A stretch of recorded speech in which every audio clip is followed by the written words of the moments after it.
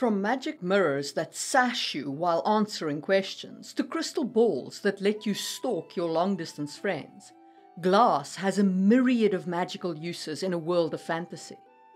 But how do you integrate it into your world? Should it be a magical component, a whole magic system, or maybe just a window to the soul?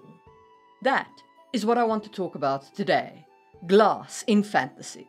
Welcome to another episode of Just in Time Worlds with your host, Marie Mullany. If you like what I do here, please do consider joining the channel for these cool perks or giving this video a super thanks if you find particular value in it. If you want to get something back for your support, check out my epic fantasy series, The Sangwheel Chronicles, available for sale at multiple online bookstores. Okay, enough of that.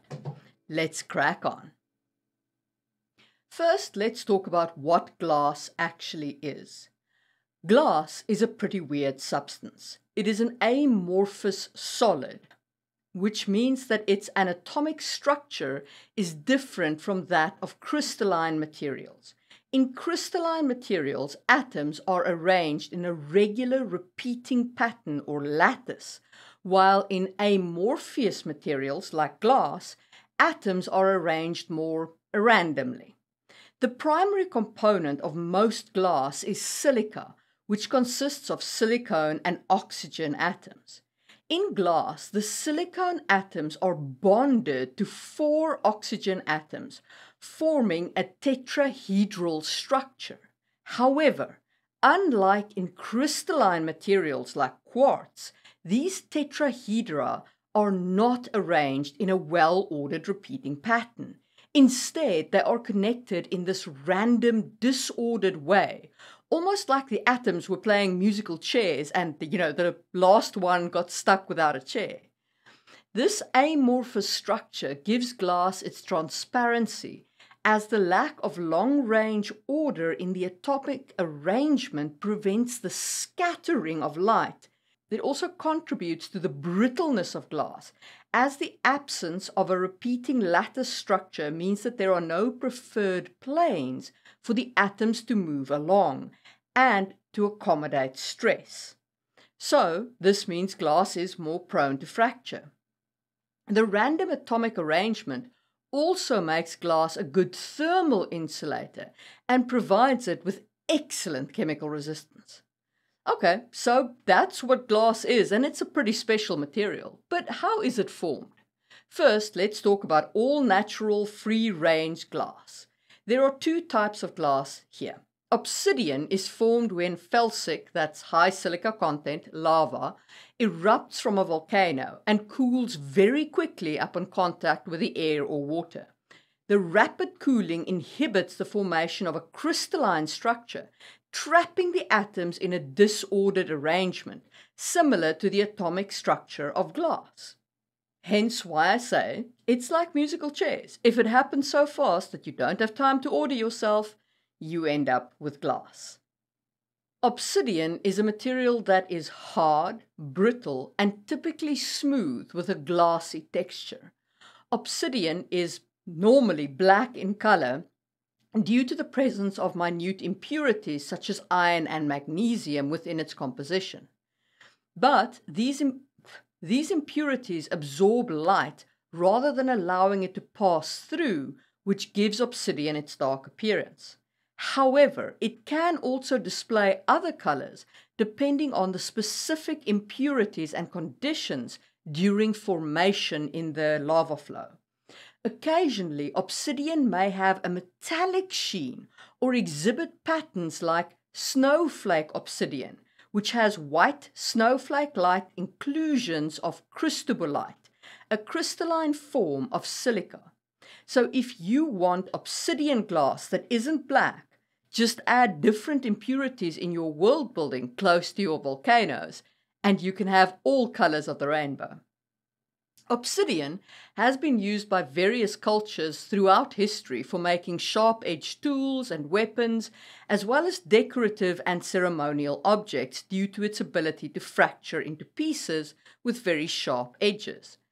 And I spoke about obsidian and its use, especially in the bead making of the era defined videos of the early Stone Age period.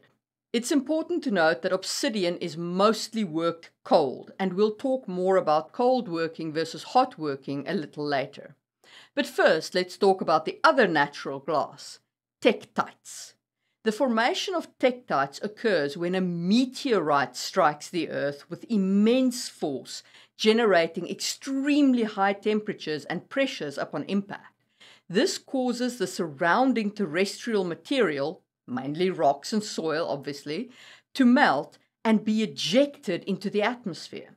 The molten material then cools rapidly as it travels through the air, solidifying into glassy objects before falling back to the earth. Due to the high speed formation and cooling, tektites have an amorphous structure like glass. Tektites come in a variety of shapes, sizes, and colors. They can be spherical, teardrop shaped, or irregularly shaped and their sizes range from a few millimeters to several centimeters in diameter.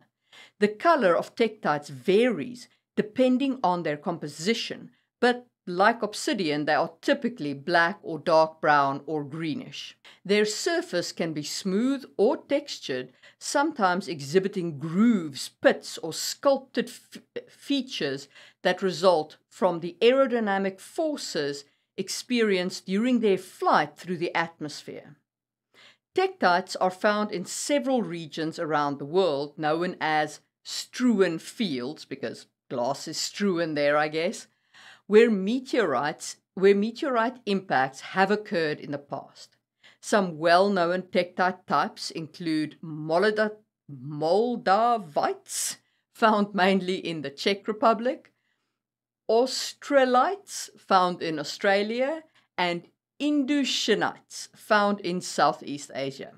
In a fantasy world, you could use tektite glass as special glass components tied to your magic system. You could call it something like star glass, the gift of the sky, or some name like that to give it a real fantasy feeling. It could also feed into your culture's religious element, where the priests claim this glass carries the will of the gods, or other such statements. So we can see that glass does occur naturally, but we also make glass. So let's talk about what that process involves. Glass is manufactured through a process that involves melting a mixture of raw materials, primarily silica and then cooling and shaping the molten material into the desired form. The appearance, properties, and quality of the glass can be influenced by the choice of raw materials as well as the manufacturing process itself, which we'll talk more about when we discuss the history of glass manufacturing. The main raw materials used in glass production are silica, usually obtained from sand, and it is the primary component, making up around 70 to 75% of the final composition. Then soda ash plays a large role in the manufacture of glass because when added to silica, it lowers the melting point required of glass, making glass easier to form. And this is likely how they discovered to make glass during the Bronze Ages as a byproduct of all the smelting that they were doing on the ground. Limestone can be added to glass to improve durability and chemical stability of glass. It typically makes up around 5 to 10% of the glass composition. And alumina Uh, is often added in small amounts to increase the hardiness and chemical resistance of glass. But this isn't the only thing you can add. You can add a variety of materials to glass mixtures to modify its properties, appearance, or color.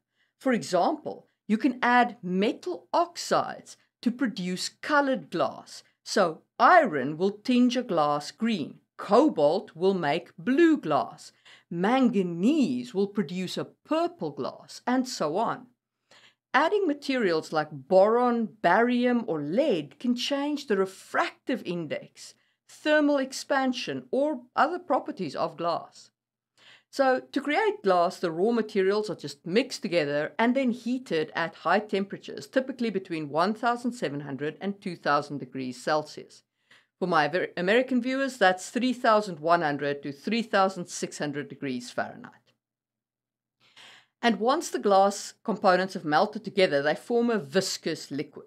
The molten glass can then be shaped using a variety of techniques that we'll talk about shortly. And after they're shaped, the glass is slowly cooled in a controlled manner to prevent the formation of internal stresses that could cause it to crack or break. This process is called annealing and it involves cooling the glass gradually in a special furnace or lehr which allows the material to achieve a uniform appearance and structure. Once the glass has cooled and solidified, it can be cut, polished, or further processed using cold working techniques as needed for its intended application. You might think that clear glass is a no-brainer, but back in ancient and medieval times, it was actually the holy grail of glassmaking. This was because of impurities in the components, combined with the high temperatures you need for silica to melt. Now, soda ash, as I said, lowers the temperature required for glass, but if you add too much, you end up with colored glass because of the soda ash. Hence, it was enormously expensive, and there was a great deal of skill required for the making of clear glass back in the day. So, thumbs up if you enjoyed that discussion of what glass is, and let's talk about working glass. Glass working has been with us for ages, probably going all the way back to the Neolithic, maybe even the Paleolithic. Our ancestors used various polishing and shaping techniques to make glass beads from obsidian. We've found obsidian beads and obsidian edged weapons dating back thousands of years. And once our ancestors mastered fire sufficiently hot to work glass, the bead making business really took off. So, what are these hot working techniques? Core forming was one of the earliest. So, what happens with core forming is the glassmaker shapes a vessel around a core and winds a colored trail of hot glass around it, letting the glass cool to form bottles. These early vessels were mostly flasks for perfumed oils. So, yeah, you can have perfume in a glass bottle going back to the Bronze Age and not bat an eyelid. But what really changed the game was glass blowing. This technique involves inflating molten glass by blowing air into a tube or pipe. It's like balloon animals, except hotter and way more breakable. From simple drinking glasses to intricate sculptures, glass blowing has been used for centuries to create stunning works of art. If you were blowing glass, you would gather molten glass onto the end of a blowpipe you'd shape it by blowing into it with a pipe, and then you'd manipulate it with various tools like tweezers and paddles. You could add color with colored glass or enamels, and then you let the piece cool in an annealing oven to prevent it cracking. And that's it. Sounds simple, right? It's way harder than it looks. Glass molds can also be used for even more intricate designs and for designs produced at fair massive quantities. A mold can be carved out of wood or made out of ceramics. Then, instead of blowing the glass free, you gather the molten glass onto your blowpipe and then blow it into the mold, and then carefully remove the mold once the glass is cooled and hardened. I use this technique of glass molds in my world. It is how my SOA charms are produced en masse. And SOA charms in my world are kind of like a prayer bead. So it's very so it's a very important part of one of my religions. So thumbs up if you enjoyed that discussion of working with glass. And let's take a look at some of the notable events in the history of glass. We already spoke about glass in the Bronze Age, but I should mention here that we actually have found a cuneiform glass manual that has survived from that era with written instructions on how to create glass. Also contained within this manual is instructions on keeping the recipes secret, which tells us that glass was seen as a rare and precious item, and the manufacturing thereof was treated with great care. But that was just making glass. As I said, it was glass blowing that changed the glass game forever, and we have the Romans to thank for that. Romans had a passion for glass, and their hunger for the material eventually led them to the process of glass blowing, taking glass from small time to factory scale. The ancient Roman glass industry was divided into two categories glass making and glass working. Roman glass making workshops, which have been found throughout the Roman Empire as well as the city of Rome itself, were usually situated near places where the raw materials for glass were available. I mean, that just makes sense. You don't want to cart the stuff around the country. Roman glass trade items have been found in China, proving that the two empires traded silk and glass back and forth, going all the way back to the classical time period, which is just awesome. When the Roman Empire fell, glassmaking in Europe took a hit, until eventually Venice and the Middle Ages. In Venice, they had this island called Murano, which is basically like Hotel California. You could check in, but you could never leave. The origins of Venetian glassmaking can be traced back to the 9th or 10th century, but it was during the 13th century that the industry really began to flourish with glassmaking developing and refining techniques that would become synonymous with Venetian glasses and style. In 1291, the Venetian government ordered all glassmakers to move their furnaces to the island of Murano, which is located in the Venetian lagoon, just north of the city of Venice. This decision was made for two primary reasons. First, it was an attempt to mitigate the risk of fires in the densely populated city, as glassmaking involved working with high temperatures and open flames. Secondly, it allowed the government to better control and protect the secrets of glassmaking, which was an important source of income and prestige for Venice, so of course they protected it. Murano became the center of the Venetian glassmaking industry, and the glass produced there was known for its exceptional quality and craftsmanship. Venetian glassmakers were renowned for their skill in creating delicate, intricate, and colorful works of art, and for their work with mirrors. Venetian glass was highly sought after throughout Europe and beyond, and the skills of Murano's glassmakers were passed down through the generation. The secrets of the trade were closely guarded, and glassmakers were forbidden by law from leaving the island to prevent the spread of their knowledge and techniques. So, in your world, if you've got a super secret glass trade and a handy dandy island, you can make the Isle of Glass have a whole new meaning with a population permanently trapped on it, all of them going into glassmaking one after the other. This is also a great opportunity for industrial espionage right here.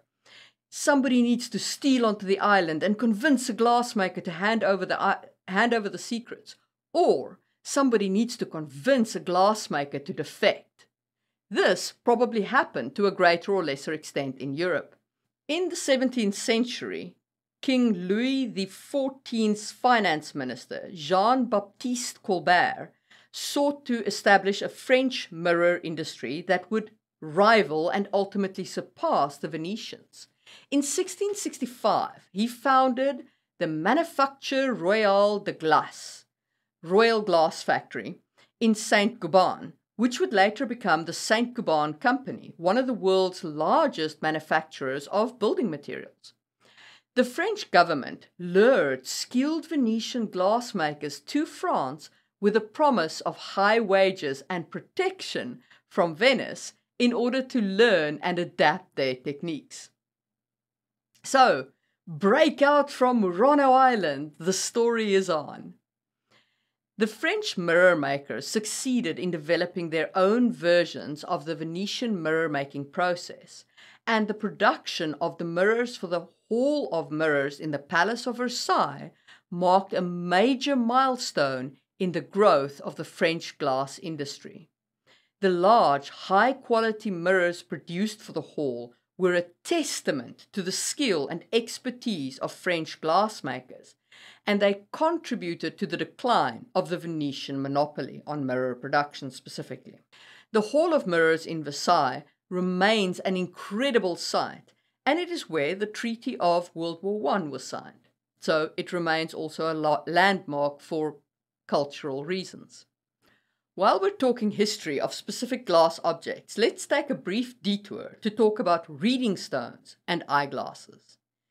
Reading stones are simple magnifying devices that consist of a piece of polished convex shaped glass or crystal that magnifies the text underneath underneath it when placed directly on top of the reading material. The convex shape of the glass bends light rays and focuses them, making the text appear larger and easier to read. The concept of the reading stone can be traced back to the ancient world, but they were more commonly used during the Middle Ages, particularly in Europe.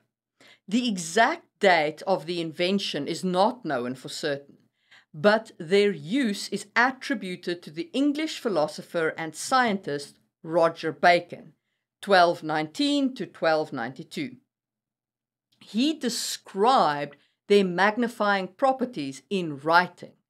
However, similar ideas about the magnifying properties of lenses were also explored by Arab scholars such as Alhazen, Ibn al Haytham in the 11th century. So, there and thereabouts in that time period is when reading stones were probably at their most popular. They were especially useful during the time when books were rare, expensive, and often written in small, difficult to read scripts. Monks and scholars frequently used reading stones to read and copy manuscripts. So, if you have a world that is pre printing press, it is entirely possible that people use reading stones to work with those book materials and they hold their reading stones over the text. Of course, you could skip reading stones and go for spectacles or eyeglasses instead. These were invented somewhere in the late 13th century. The earliest evidence of spectacles comes from Italy, specifically in the region around Florence, Pisa, and Venice. I mean, it makes sense, right? With Murano right there and all. Early spectacles were of a simple design, consisting of two convex lenses for correcting farsightedness, mounted in frames made of bone, metal, or leather. The frames were either handheld or balanced on the nose, as they lacked the temples or side arms that hook behind the ears that we have in our modern spectacles. By the 14th and 15th century, the use of spectacles spread across Europe and they became more widely available due to the development of glassmaking and lens grinding techniques. The invention of the printing press in the mid 15th century led to a vast increase in the availability of books, which in turn increased the demand for spectacles as more people learned to read. By the 18th century, Benjamin Franklin invented bifocals, and well, here we are. My spectacles even correct for astigmatism. So, don't be afraid of history hitting you in the face if you want to have spectacles. You can have spectacles available in a medieval world easily. They'll just be pretty expensive. Right, back to history. Eventually, of course, we figured out how to make glass cheaply through industrial processes. And here we are in the modern era with glass windows, glass carrying our data, glass in our telescopes, glass on our eyes, and the list of glass just goes on. It is really an incredible, versatile material, one of the best we've ever made. So, thumbs up for the history of glass. And let's talk about using glass in fantasy world building. Glass can be all kinds of fun, just from a usage standpoint. You can use glass as a flex of wealth in a medieval world where a clear glass pane is, a, is seriously rich and shows how much time people invest in their building. Glass can be used for jewelry, for mirrors, for bottles. You can have eyeglasses, reading glasses, reading stones, and all the other bits and bobs that we spoke about. But of course, this is fantasy. So let's take a look at the fantastical attributes. Magical mirrors is a standard. The magical item has been used for everything from communication to scrying. In Harry Potter, we had the Mirror of Erised, which showed the deepest desire of the person looking into the mirror. In Snow White, the fairy tale, the evil queen relied on her mirror to keep tab on the fairest of them all. Mirrors, being reflective, can also be used in defensive and illusion magic, where they can be great tools for a mage. Then, of course, there are crystal balls. These mystical orbs are the go to tool for fortune tellers, wizards, and witches alike. The most famous example in fantasy is probably the Palantir from Lord of the Rings, which can be used as a communication device, and of course, Sauron can see through them by the time we reach the trilogy.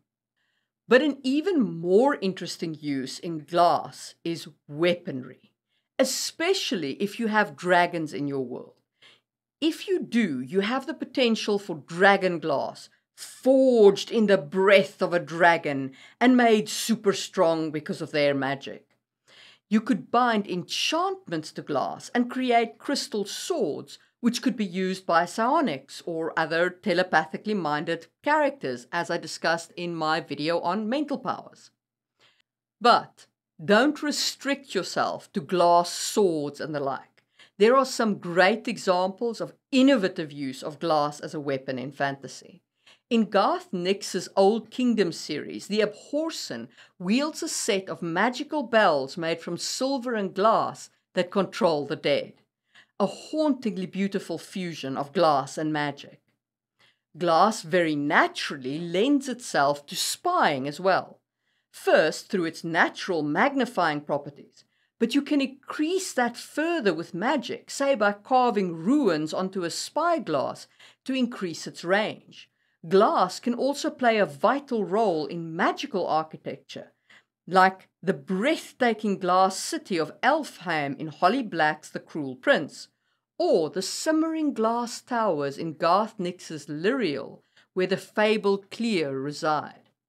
I have a glass triangle in my city in Kisangi, which is the home of the Balancer, the high priestess of the goddess, and her husbands, who are essentially a pope equivalent in terms of power structure on the continent of Kisangi. So, glass in these fantasy worlds can be as strong as steel or as flexible as fabric, defying our understanding of this versatile material due to the addition of magic. And lastly, we can't overlook the importance of glass in fantasy fashion. You could have stunning glass jewelry imbued with magical properties, like necklaces that protect the wearer from harm, or glass pendants that can store memories. I use glass to form Soa charms, which the priests of my religion from the Order of the Threesome can use to channel the power of the gods. For normal people, the Soa charms are just glass beads that symbolize prayers. But for the priests, with a talent for magic, they are a critical part of using the god's power. Of course, you are not just restricted to items. You can develop a whole magic system around glass. For example, you could use a runic magic system, but the symbols are cast in glass. So your glass blower is actually literally forging spells as he creates these runes. Maybe it can even be that anyone can use these spells once the glass blower has forged them, which would be a fascinating application of magic. In the Stormlight archive, Sanderson has a shield that protects a crystal power, which is manufactured via the surge of transformation, where the soul caster convinces the air to believe that it is glass. thus using glass's reflective protective properties. So there's definitely a lot of fantasy potential in glass. And those are my thoughts on glass and glass manufacturing in a fantasy world. If you want to support this channel, links to my books down below or use the join button for these cool channel perks. And if you enjoyed this video, do check out my video on spinning in fantasy worlds, and I will see you soon for another episode from Just in Time Worlds.